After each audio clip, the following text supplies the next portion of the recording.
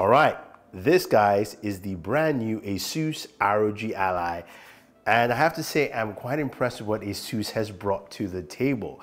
This is a portable Windows gaming device and this is also competitor to the Steam Deck. So in this video, uh, as I get my first look at it, I've only had it for basically two days, guys. So I'm gonna be doing a first look comparison against the Steam Deck. Now, if you're joining us for the very first time, this is Thunder E here at BooredAtWork, and we do videos like this where we cover a lot of gaming, gaming devices, and audio. And if you want to watch more videos like this, hit the subscribe button and notification icon. So let's take a closer look at the ROG Ally. And here we have this device that has a very, very cool layout. A 7-inch display, 120 hertz. You can see the layout there. It's got the split uh, joysticks like the Xbox. The D-pad is one of concern because it's more of a solid block, which I'm not a big fan of. We do have, of course, some uh, action buttons here on the side. There are four in total.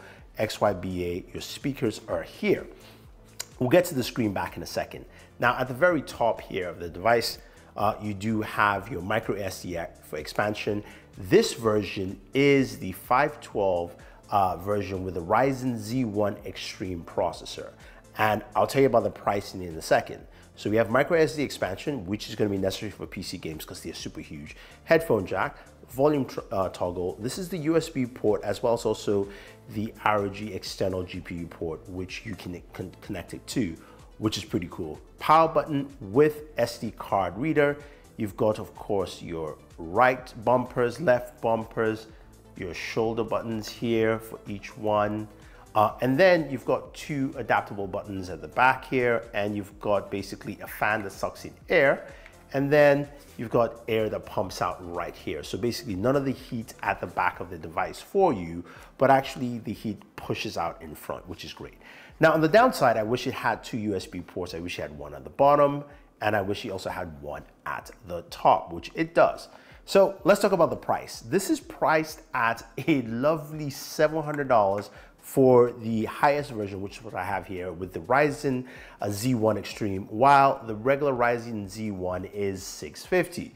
So what do you think about that pricing and how does that compare, of course, to the Steam Deck? Now, with the Steam Deck, which I have right here, our Steam Deck here comes in, starts at a much lower price point and goes all the way to $650. So it's only $50 cheaper than the Steam Deck. Now, before we get into that main comparison, let's take a look at some of the software features that we have here, because software is really important. As I mentioned, this is running off Windows 11. As you can clearly see, it's a full Windows-based uh, system. And the main benefit of this device is that you can install any of your other game services on here. That is something you cannot do on your Steam Deck. On Steam Deck, it runs Steam and games that are compatible on that version of Steam. Here, this is full Windows gaming as you expect. So I can go in and I can show you all the different services that I have. You can see it right here. We have, of course, Xbox uh, Game Pass. We have EA Play Store, Steam, Epic Games, Ubisoft. So you can install as many of the platforms as you want and you can play your games directly.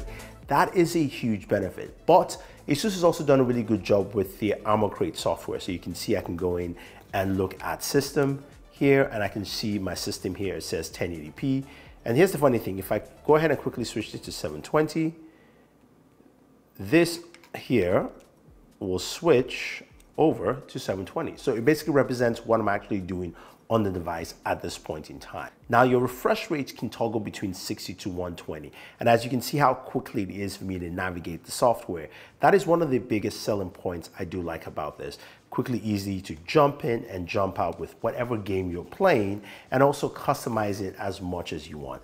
Your edit command center to edit your quick action buttons. And of course, you have your game library. And this allows you to play any of the games you want to play quite effectively. So whether you're playing, you know, you're playing Warzone and playing Warzone 2 on Battle.net, you can actually do that. And that's actually great, or even in jumping into uh, a game like Halo Infinite, or you're playing Forza Horizon, you can really get into those games.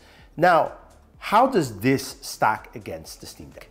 You have something that's quite interesting. In terms of size, the Steam Deck is slightly larger, and the Steam Deck also has more buttons and controls. So we look at it here, we have more of a PlayStation style uh, analog setup with the buttons higher up, And then we have a seven inch display, but it is 60 hertz instead of 120 hertz you have there. We do also have the track pads here at the bottom, and we have a D-pad that I feel is much better, XYB button. We do have, of course, our bumpers here, which are kind of flat. I do prefer the um, ASUS's bumpers, triggers at the back, and then we have four customizable buttons at the back here. So we do have that USB uh, port at the very top and a micro SD card for expansion at the bottom. So in terms of hardware, they are kind of similar with the Steam Deck being larger. When it comes to temperature, I feel like both of them run at really good temperatures, though the Steam Deck feels a little bit warmer at the bottom because that's where you get most of the heat. While of course the Asus pushes the air out from the very top here. So that is actually pretty nice to see that you don't feel that at the bottom. Now, what about game performance? This is where it gets really interesting in just what you get. So I decided to look at two Steam games that you can actually play on both because of course both can run Steam. Uh, and yes, for those who are gonna say that yes, you can also play install Windows on there. Yes, you can. But of course, that is something you have to look, learn, and do if you want to. Uh, so that's the separation there. But we go into our Steam library, we're going to check out uh, Tomb Raider and we're going to check out Doom Eternal. Starting with the Steam Deck. Steam Deck does a solid performance. Uh, it's under 50 frames per second. It's 720p as you know with the display, while the Ally does higher at 720p and the display is also locked at 60 frames per second. Now, when we go to um, a game like Doom Eternal, we find something a little bit different where Steam Deck is just locked at 60 frames per second, 720p, and with the settings, uh, doesn't matter if I go from low or ultra nightmare, still at 60 frames per second. The Ally on the, the other hand, running at 10 at 720p um, and between low to uh, ultra nightmare, you're gonna see the frame rate dip lower than 60 frames per second, but also goes higher than 60 frames per second as well. So that's something to take note. When you go to uh, 1080p, you're getting a performance at roughly around 35 to 40 frames per second. So that's something to take note. Now you're wondering, okay, what about uh, 120 hertz gaming? Now, this is where, of course, it depends on your performance and your settings and depends on the game you're playing. I know my buddy uh, SuperSaf played Red Dead Redemption and that ran pretty well on there. The one thing I'll mention is just that performance wise, this actually does a very, very good job. Look, I'm not discounting the Steam Deck and I think the Steam Deck is a solid device for people who are looking to game and uh, on the go as a PC game and also have a slightly smaller budget because you can go on a cheaper uh, level with the $450 price range. But if you want your best bang for your buck, this is it right here. That's what this actually brings to the table because you've got something that allows you to play on any of the game stores you want to. Uh, and again, you have full-fledged Windows, which means you can do more with it. Yes, you can sideload Windows on the Steam Deck, but it's something you have to do as an extra step, which you don't have to do here on this device. Performance-wise, playing games like Halo and um, Forza Horizon, I was able to get solid 60 frames per second.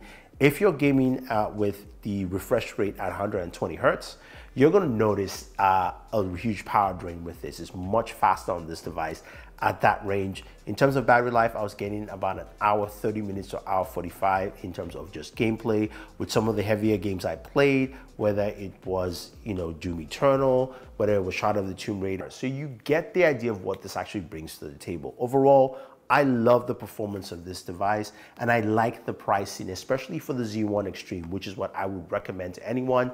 Definitely go ahead and pick that up. It's only $700. Here's the link for you guys down below.